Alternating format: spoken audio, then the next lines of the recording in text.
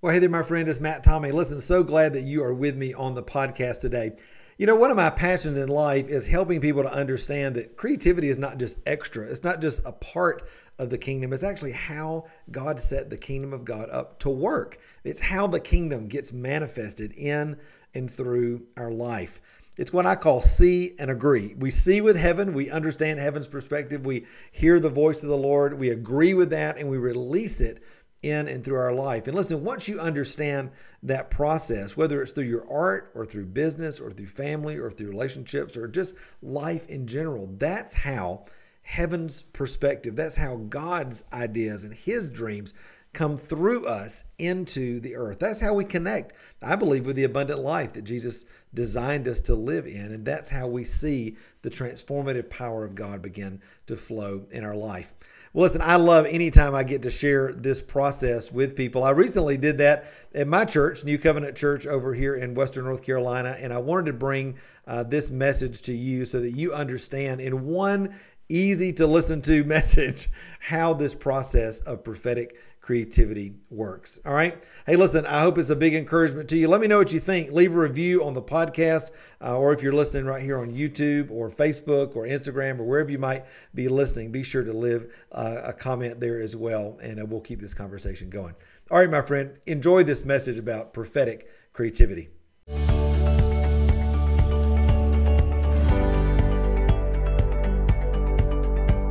There's a new perspective that God's wanting to release this morning. I woke up this morning and the Lord just said, Awaken, awaken, awaken. I'm going to awaken my people today to a new reality, a new reality of the kingdom.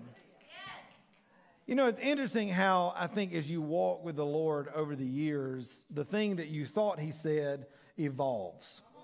Anybody ever had that experience? well, you said this, and I understood it that way, but now I understand it differently now that I know this. You know what I mean? You, we're, we're growing. That's how the kingdom works. In 2009, God woke me up out of a dead sleep in the middle of the night, 3:09 in the morning, to a Jason Upton song. Y'all know Jason Upton, worship leader. To that song, Lion of Judah, it said, "Raise up an army, raise up an army like Joel saw." And I was like, "What is this?" And the second morning, I got up and went down to my studio and, and uh, opened up Joel 3 9 at 3.09 in the morning. And the Lord said, uh, I'm calling you to raise up an army of artists to reveal my glory in the earth. I want you to bring the master artists and the emerging artists together in this movement. And I began to see wells of fire all over the globe. And the Lord began this incredible journey. Um, of course, you know, right after that, I'm sitting alone in my basement at 3:30 in the morning now, going, "Is that you? Is that the pizza I had? I don't know." You know. And, uh, but little by little, the Lord began to show me, you know, what to do. So I began to walk. And I began to walk. I began to take this idea, this dream that God had put inside of me, and I just began to say, yes. I didn't understand the how, I didn't understand the timing. I just began to say yes with what was in my hand right then. And uh, I had me a little YouTube channel. I think I had to start one. I had a keyboard, had a little, a few people that would listen to me, and I just began to share. And uh, it's been incredible over the last 10, 11 years now. It spawned this worldwide movement of tens of thousands of artists all over the world waking up to who God's called them to be. And as I look back, I'm just, and as Blake was saying this this morning, I'm just, and thank you for those kind words. I mean, I love this house, and God's brought us here and planted us here, and we're, we're honored to be walking this life out with you. Um, but it's, it's amazing, you know, you don't know the steps that it's going to take to walk uh, the journey that, that you've walked on. Um, and there's no way that I could have ever imagined, you know, what we're, what we're doing now. The interesting thing is, though, the Lord has switched the script because – I'm out there doing my art, and God birthed an art business through me that became very successful, and then uh, books and all this kind of stuff. Da, da, da, da, And then about two years ago, the Lord said, I want you to shut down the studio in Asheville, and I want you to begin to focus on your mentoring artists full time. And I'm like, well, that doesn't make any sense. Lord, don't you know how this works? Like, I already have the plan. You gave me the plan. He said, yeah, we're changing the plan. And so I began to shift into that, and the favor of God in every area began to begin to happen even more than we had experienced. And then the interesting thing was in the middle of that, the Lord said, Surprise, this is not just about art artists, everybody's an artist. and the message that I've been doing in you and showing you for artists is now supposed to go all over the world. Because everybody is called to be, everybody's an artist. Everybody's designed as an artist. You know why? Because your daddy's an artist. Your father's an artist, and you're called as an image bearer of him to reveal and reflect the kingdom. I love this. The Lord just gave me this this morning. I, am just, I'm off the rails already. Praise God. Uh, John 1, uh, I do know when lunch is, so we're going to be fine.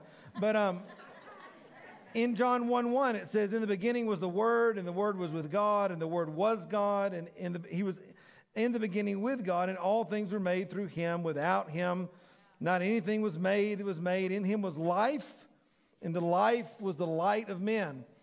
So you remember on the day of creation when God said, Let there be light? He wasn't just saying turn the lights on, he was saying, Let there be a release of my nature. Then when my nature gets released, things change. So in God, there's both light and life.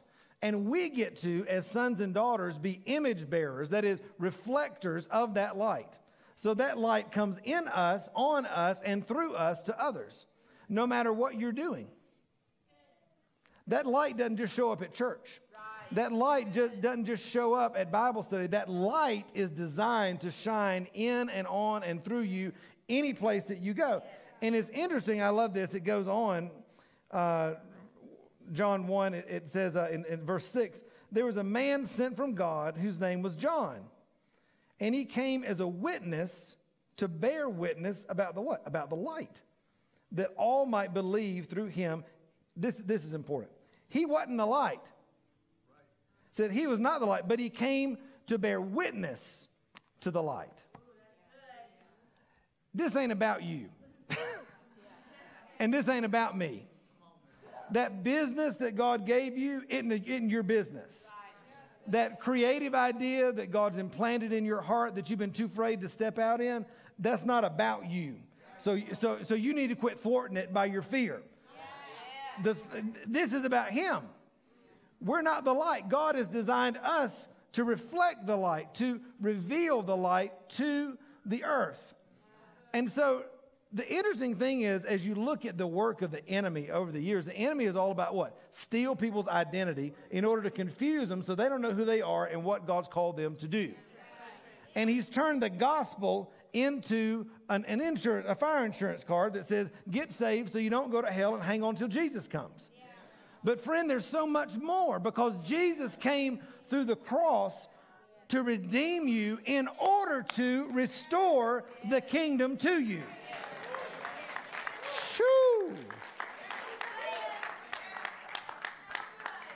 If you miss restoration as a part of the cross, you sit as a Christian living a defeated life on your way to heaven.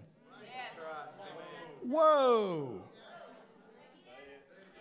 If you, if, you, if you don't understand how the kingdom works, you don't understand restoration, then you sit as a defeated Christian, saved on your way to heaven, but living a defeated life. That is, not able to walk in the fullness of what Jesus has restored to you in the kingdom. In fact, if you read Jesus' words, Jesus said, I came to preach the kingdom.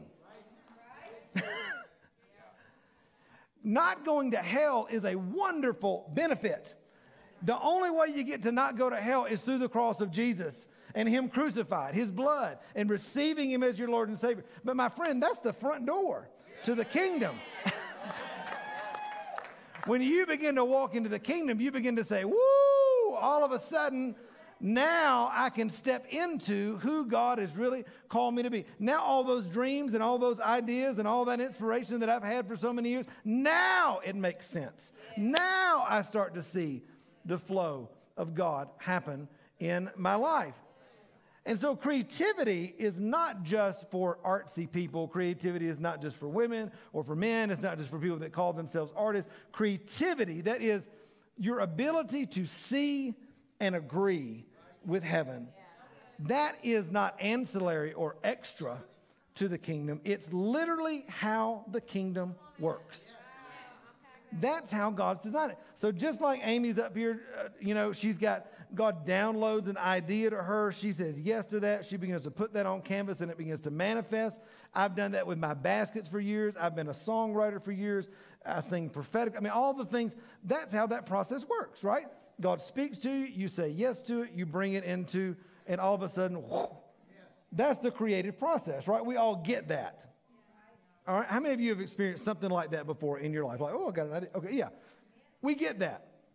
That's how life is supposed to operate normally in every sphere that you walk in in your family, in your business, in education, in, in wherever it is, in, in government, in justice, in everything that God's called you to. The reason I would almost guarantee that people struggle with finances, the reason that people work dead end jobs, the reason people can't, nothing ever works out for them, the reason that people are always walking around broke, busted, and disgusted. I love Jesus, but I just can't figure out how it works, is because you're trying to get kingdom results out of physical and fleshly striving. You see the result, you see the promise, but you're going about it the wrong way because you don't understand how to receive the way that God designed it.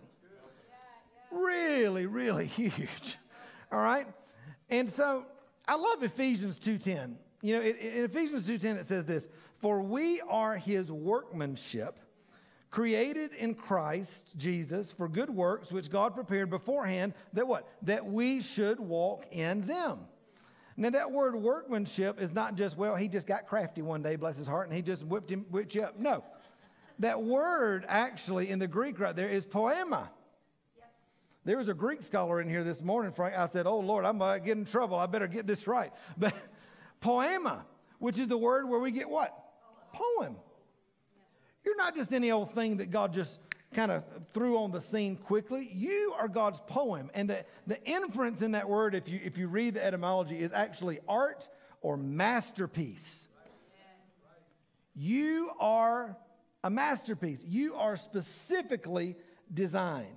You know the things that you just can't figure out the quirkiness about you that everybody's been trying to shut down your whole life? I guarantee you, ho, I guarantee you, it's just more than likely maybe an immature version of the thing that God's trying to mature in you to bring out so the kingdom can flow through you.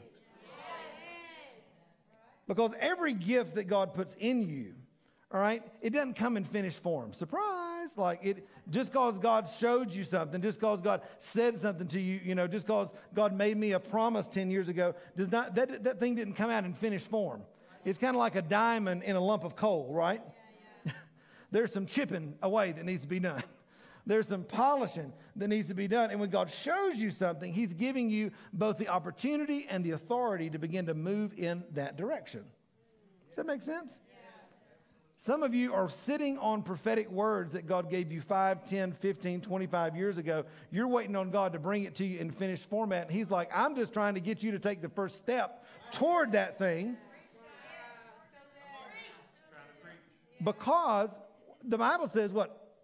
Man plans his way, but God orders his steps. So God can't be ordering if you're not stepping. Some of you need to start stepping. You've been sitting on that business idea for years. You've been sitting on that art idea for years. I, I, can't tell you how many artists, and again, this has been my life for the last 10 years, but how many business owners and artists and people I talk to over and over and over who said, I've been sitting on this thing for 10, 15, 20 years, but because of fear, because of anxiety. I talked to somebody this morning. They said they're in there, you know, I'm not going to tell them how old they were, but they were old, older than me. And, uh, and I'm 47. They said, uh, 20 plus, let's just call it 20 plus years ago, they were in a college class majoring in art. And guess what? An art teacher said something to them that the enemy used in their life, and it completely shut them down. And until this morning, that thing has been laying dormant. But how many of you know God wants to wake that thing up? Because there's a unique, there's a unique re- release of the Spirit of God that can only come through her. And it can only come through you. Chip's going to release the kingdom differently than I am. You're going to release it different, differently than, than he is. Why? God could speak the same thing to every person in this room, and yet the expression of that would be completely different on purpose. And it doesn't make God nervous. It makes church people nervous. I'm just going to say. Well, we've never seen nobody do it like that, you know. I ain't never seen a preacher come up and sing first and, and do the altar call before he even started preaching. Well, okay. Help myself. That's right. That's right. It's interesting, I think people in general, all of us, we want rules. God wants the process, right? God tried process in the beginning with Adam and Eve, right? He said, This is my son. This is my daughter. I've created them. He created them in a place with all the authority, all the opportunity, all the provision, all the relationship, all the creative ideas. He even, he even brought them, think of this, he just created this little mud pie Adam, bless his heart, before he created the animals, and then he's going to ask Adam what he thinks. I said, I don't know if I'd have done that, Lord. That doesn't make that much sense, does it? But yet, God is passionate about the process. Your feeling of unworthiness does not make God nervous. Your feelings of, of not readiness does not make God nervous. He's always been about the process. But we're more comfortable with rules a lot of times, and so we, we lean toward the rules and, and we try to figure things out myself, ourselves. That's the whole story of the Garden of Eden that God gave them everything they needed. I mean, all the money, the time, the resources, the place, the opportunity, help. I mean, everything. The ability to walk with God and ask Him questions along the way. I mean, before Facebook groups and, and things like what I was doing, God was doing a live Q&A every night. I mean, this is, this is great. I love this. And yet they what? They chose to do things their own way because of fear, because the enemy snookered them. That's just what, that's what happened.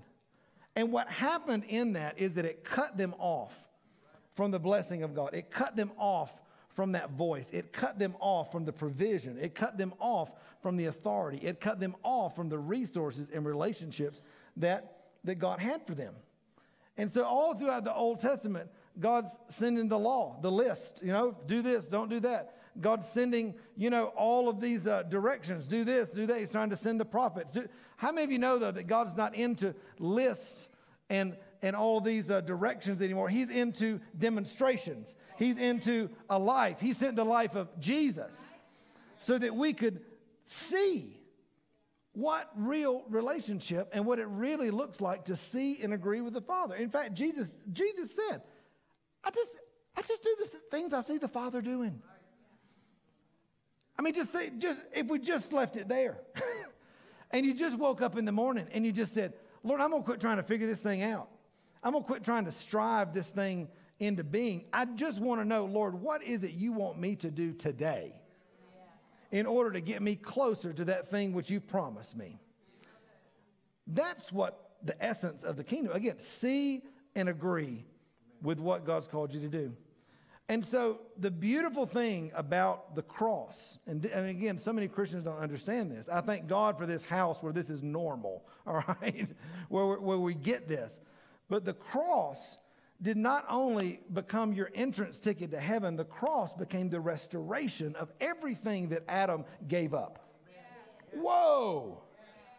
You mean the provision, talking about finances and opportunities and resources and relationships? Yeah. It did. All of that got restored. What about the authority? What about the ability to think creatively with heaven? What about the ability to enter into a creative process with the Lord? What about the ability to be an image bearer, to have dominion over a circle of influence and release the power of the kingdom in that dominion? All of that got restored. And the beautiful thing is, God did it by grace so that none of us can take credit for it. You didn't have nothing to do with it. and I didn't have anything to do with it. Jesus came and died and restored all of that back to us. But here's the deal most Christians sit there begging God the way they pray, Oh, Lord. I just pray you could, if you could just, uh, squeeze out one little bit of healing. Oh, Lord, I just need enough money this month to make my bills. Oh, Lord, if you could just bring me one friend. Oh, God, if you could just get me enough, get me into a new job where I could just make $2 more an hour so I could just make it. How many of you know that's not God's best for your life? And so I want you to imagine the storehouse of heaven. The storehouse of heaven. Everything that Adam gave up, all of it Jesus restored. And it's sitting there where? It's sitting in the Spirit.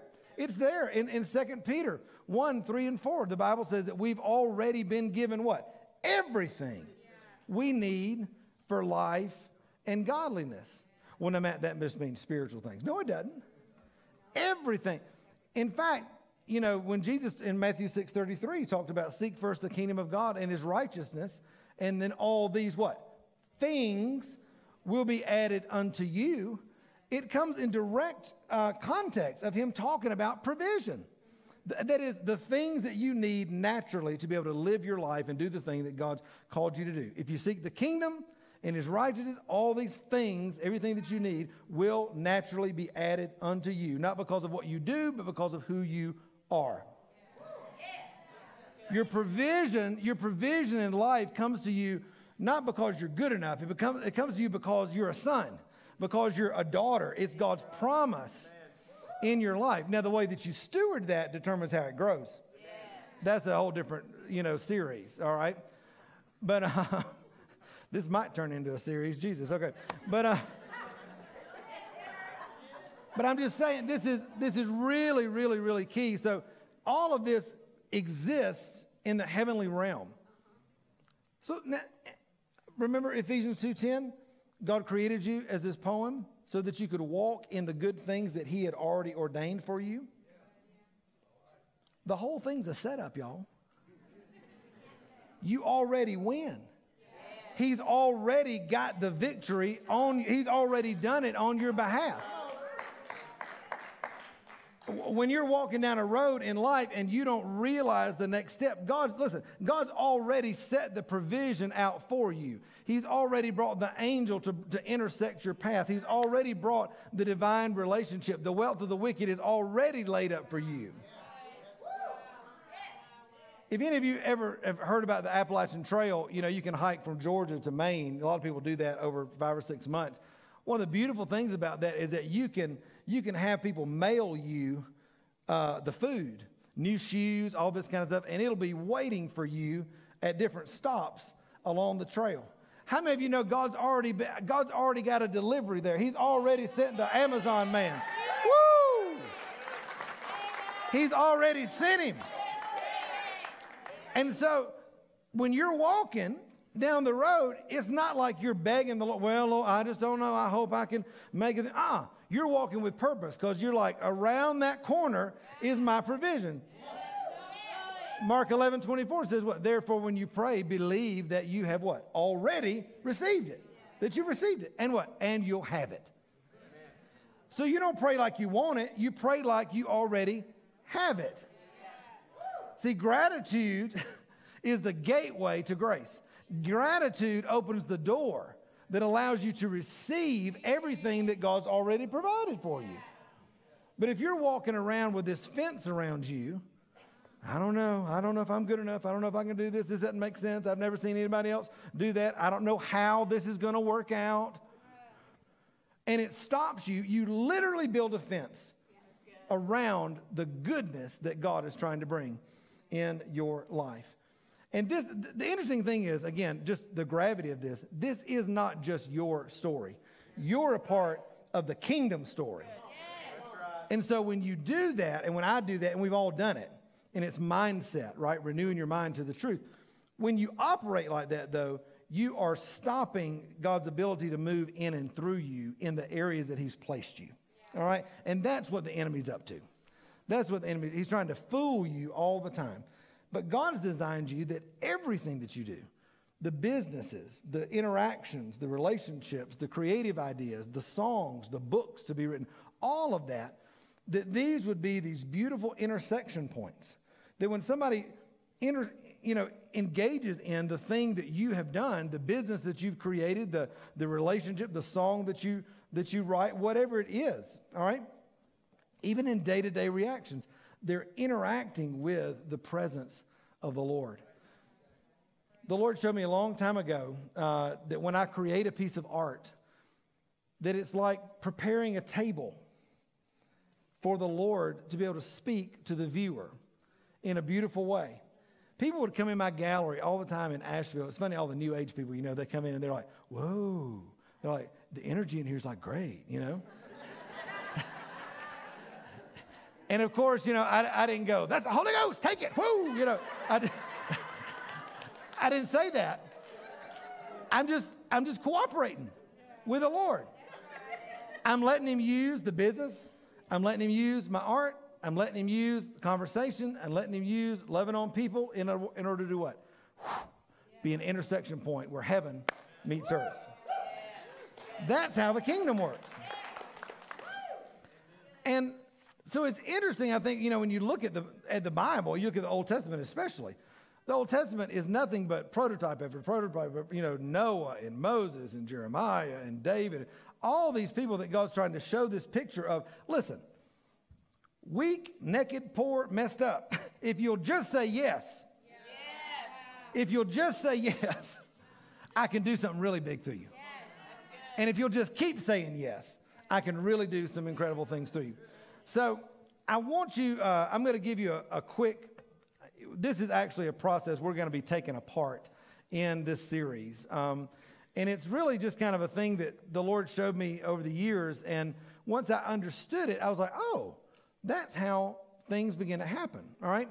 And so I, I, want you to, to get this because, again, if you're not experiencing results in your life, if you're not experiencing the life of the kingdom, if you're not walking in divine abundance, if you're not, um, you know, experiencing what I think Jesus called the abundant life, you know, then the issue is not with him. And I don't, that's not a shame thing. Do not receive that as shame all that is, is like Maya Angelou said, when you know better, you do better, right? and so what we're doing this morning is just, we're just going to reset a little bit. You're already getting reset this morning, all right? So, are you feeling reset? Yep, yep, yep. All right. So, even the sound man's getting blessed. Praise God. Okay. Or somebody is. Hallelujah. All right. You know it's good when the sound man gets blessed. So, all right. So, number one, um, relationship. All right? So there's seven things. I will give them to you quick. Relationship. Everything in the kingdom comes out of relationship. Jesus said in John 15, what? I'm the vine, you're the branches. Apart from me, you can do nothing. All right? If you look at Luke 8:10, which is a beautiful scripture where Jesus says, the secrets of the kingdom are your what? Inheritance. Do you know that there are secrets about every part of society, every part of your life, every part of business, every part of relationship, every part of healthcare, everything. There are secrets that are hidden from, I think, the enemy. You know, they're, they're hidden for the people of God. They're hidden for the people of God. And God's looking for people who will just say yes to him, be in relationship with him, so that as you lay your head on his breast, as you take time with him in worship and listening to his voice, he can whisper, Hey, what about starting an army of artists? And I'd be like, Cool, this is great. You know? What about doing this? What about doing that? And he's looking for people that will just be close enough in relationship with him. So relationship is always the first. All right, because again, if you if you see a demonstration of the kingdom or you see uh, a demonstration of an idea that you have working in somebody else's life and you try to make that happen on your own, it will always end up less than what God originally intended. And many times you'll end up broke, busted, and disgusted. Ask me how I know. Because because you end up trying to do things out of your own strength. And I listen, that's not God trying to teach you a lesson. That's not God trying to be ugly to you. You just don't know how the kingdom works. And I'm trying to help to reset that this morning. All right. So relationship with Him is huge. All right. Number two, revelation. Revelation always comes out of relationships because God speaks to the ones He loves and speaks to the ones that love Him. You know, there are, I bet there were things, even in the 12 disciples, you know, there were three that were Jesus' kind of running buddies. I bet they knew things that the other ones didn't know. Why? Because they just hung out with him. They were just closer with him. Now, this is not a spiritual one upsmanship. I'm just saying relationship is key, and God always speaks to the ones that He loves. And so, your imagination is the engine through which God speaks in your life. Well, a lot of people, you know, a lot of, a lot of Christian folk are scared of imagination because the only thing we've ever been taught is vain imaginations, you know? How many of you know that God's the originator of your imagination? He's the one that gave you the be able to, ability to be able to see and feel and sense and hear. Why? Because when you see pictures, pictures birth desire. And desire births movement inside of you so that you begin to follow and do things. If you that's like a, a fuel, if you will. Your engine, you know, this imagination engine, when it can combine with the Holy Spirit, is like a fuel that keeps you going. Why? Because you want to see that thing that you've been dreaming about. You want to see it happen. And so that that determines your beliefs, your thoughts, your, you know, you're like focused. You know, like when you're in love and you get like crazy, like when I was in love, I'm still in love, 24 years with Tanya. Our anniversary is Tuesday. Come on, somebody. Woo. Speaking of recalibrate, I am, when I first fell in love with Tanya, I would call my mama and talk to her on the phone, and uh, I was I was actually dating somebody else, and um, I wasn't that guy. I wasn't that guy.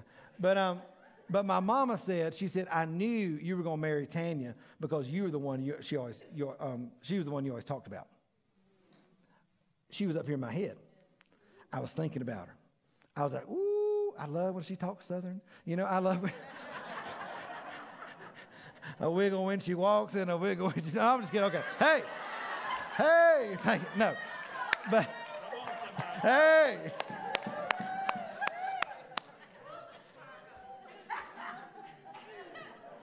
But that was a motivating factor.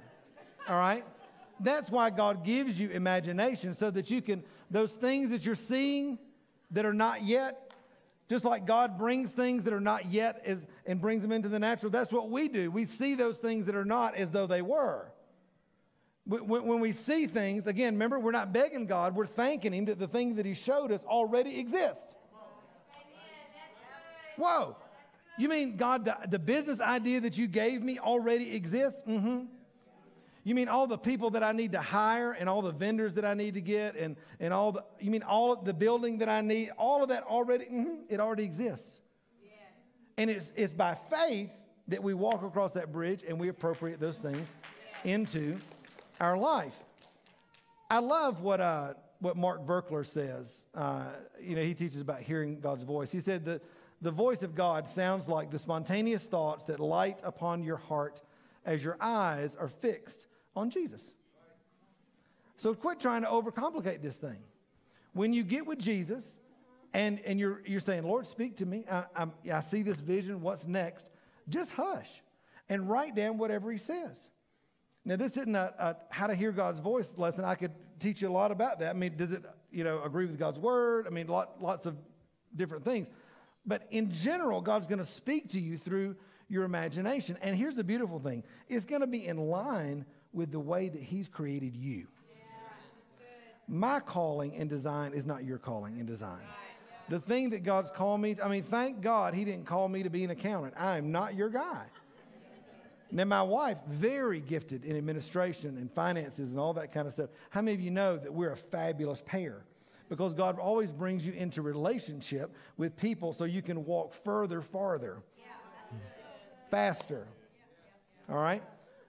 So it's always in line with your design and with your assignment. And it's, uh, so I think, again, that's just a beautiful thing of the way the Lord works. When you're in relationship with Him, He speaks something to you. You don't have to be afraid that well, gosh, this seems too easy. Or this seems too good. Or, dang, I've been trying, I've been pushing this off for 30 years. I, I, hello? the reason that thing's on your heart is because God put it there. And if you'll begin to lean into that, I promise you that's where the grace is. Amen. That's where the grace is. Number three, agreement. All agreement is, again, it's just a principle in God's word, but agreement opens the door. Agreement uh, gives you the ability to receive that which God has already promised. And so it's just you saying yes to the dream, to the vision, to the opportunity, and it releases provision, it releases resources and relationships and opportunities. All right? So, agreement. On the other side, you're stinking thinking, your mindset of, I'm not good enough, I don't understand this, how would this ever work? Guess what? That is coming into disagreement with the Word of God. Sometimes we call that an ungodly belief. It's a belief that is ungodly. It doesn't agree with God, right? so we want to have godly beliefs. All right, so relationship, revelation, agreement. The next thing is skillful response. There's a beautiful passage of scripture in Exodus 31 that talks about Bezalel, one of the first healthy artists that we see in God's word. And it says that he was filled with the Spirit of God and skilled in every manner of workmanship. So, what does that mean? That means you can't just have a dream from the God, you know, from a dream from God and have the Holy Ghost goosebumps, woo, God's calling me to the nations, ah, and never do anything about it. There's a skill set that you're going to have to learn, that you're going to have to grow in, that you're going to have to allow to mature in your life so that you can step into the fullness of what God's called you to. So you can't just go on a dream and a passion, and at the same time, you can't just go on skill. Some of you are excellent technicians at whatever it is that you do, and yet there's no life or momentum in what you're doing. It's because you've, you've pushed away or not, not understood how to uh, involve the Spirit of God in what you're doing. And so now you may be on this incredible path, but there's no power behind it. When you begin to bring together being both filled and skilled, all of a sudden it's like a jet plane. And here's the beautiful thing no matter where you are on the journey, no matter if you're just starting or if you're way down the road, God can use your life at every place in the journey. So there's not this thing of, well, when I get here, God can use, ah, God starts using you now. You've been faithful with little, Matthew 25 says. Now I'm going to make you ruler over what? Much. You start out as a one talent guy, you get then two talents, you get five talents. How many of you want to be? I want to be a 10 talent, 20 talent person. But some of you are trying to be five talent people with one talent habits.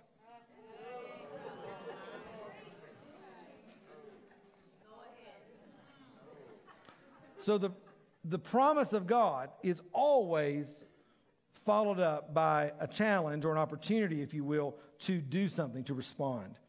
All right? To, you know, Think of Isaiah when it says, Sing for joy, O barren woman, you know, you who have no children, I'm going to do awesome things in your life. And then what does he say next? Enlarge the place of your tent. That is, if you want to see this thing that I promised you come to pass, you got to get over here and enlarge your tent so that I can do something. But I'm, a, I'm, scared to, I'm scared to hire those five new people because I don't know what would happen. But every time I go to pray, God says, hire five, hire five new people. Well, guess what? He's trying to get you to make room for the blessing that he's trying to bring in your business. But I can't afford that new building. You can't afford not to do it. Shoo. Number next, number five, um, incarnation. That's when the dream manifests into reality. All right. So again, the thing that we've been agreeing with, God's put in our heart. We're filled and skilled. We're cooperating with the Holy Spirit. Now that thing begins to come into reality. And uh, then number six, transformation. Because when you're cooperating with God and doing the thing that He's given you to do, no matter what it is, He promises to, to move through that. He promises to, to show up. Why? Because we're sons and daughters. We're image bearers. We're the ones that are designed. Remember, just like John the Baptist, we're not the light, but we're called to reveal the light. And I promise you, when God shows up in your business, you'll know the difference. When God shows up in your family, you'll know the difference. When God shows up in your artwork or whatever, if you're a doctor, when He shows up or when He shows up in anything that you're doing, you will know the difference. Why? Because you'll say, Whoa, there's so much more happening, and I'm doing so much less. I'm not having to make it happen anymore. I'm just having to continue to agree with Him, and God can make momentum happen. Whoa, like you could never see. People, I had so many artists over the years have looked at my art career and said, Man, how did this happen? Like, did you pay somebody off? Like, did you, like, what, what happened? Like, I went from not being known to being recognized by the Smithsonian to then selling my work for thousands and thousands of dollars, commissioned work, and winning something in Europe. I mean, all these things that have, have happened, books going all over the world, all this. There's no way that I'm that good. I'm not that good. I'm not that good. but I just kept saying yes. I just kept saying yes. I just kept saying yes. And then last is abundance. When God shows up and the life and light of God is, is being transmitted through what you do, uh, God's abundance shows up in your life and in others. And I love, I love the, the scripture in Exodus 36 where Bezalel is working on the tabernacle of Moses. And he gets to the point where he has to call Moses, and he said, Moses, listen, uh, could you please, the Bible says, restrain the people from giving.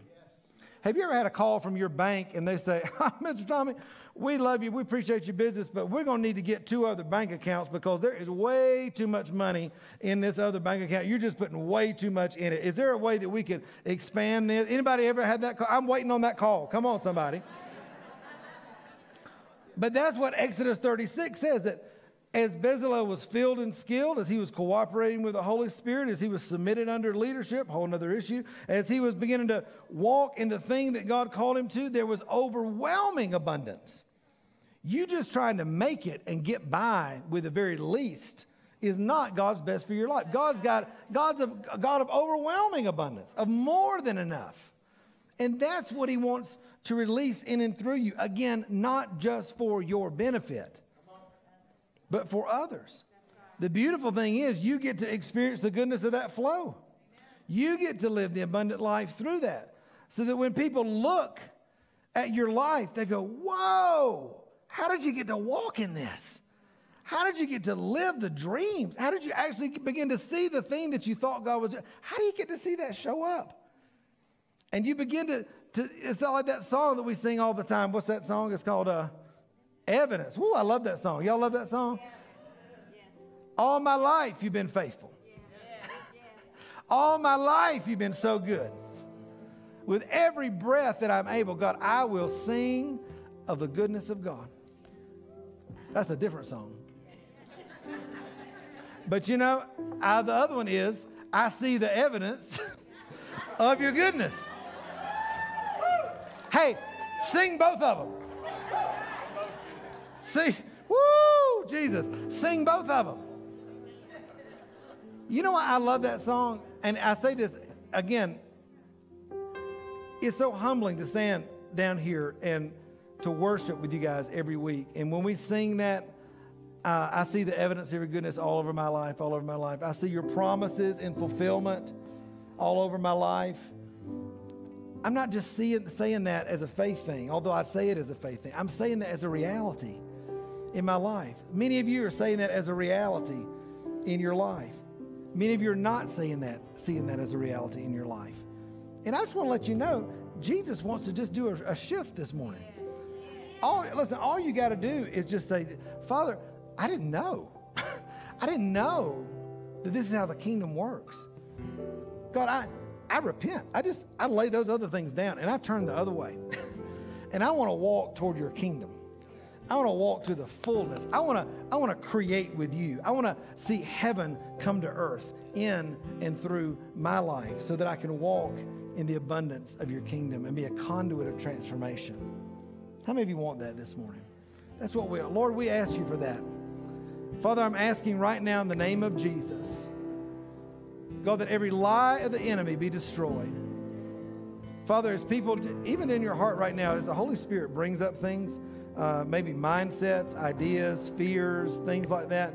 He's doing that right now all over the room. Just begin to just say, Jesus, I just lay that at your feet. I come out of agreement with that. That's not truth. God, I believe your truth. Just begin to give that to him and then begin to listen to his voice. Just ask him, say, Jesus, what do you say about this? What do you say about this idea I've been sitting on for 30 years? What do you say about that that wounding that happened to me 10 years ago, 15 years ago, that word that somebody spoke to me that hit my heart like a knife, and I've been paralyzed ever since. Lord, what is it that you say about that? Father, I thank you that grace, your grace, is here, Lord, to do the work that it needs to do. Lord, to recalibrate and to reset your people so that we can walk in the fullness of that which you designed for us. Grace, grace, God's grace, grace that can pardon and cleanse within. Oh, grace, grace, God's grace, grace that is greater than all my sin. There's nothing that you have done to disqualify you from the goodness of God.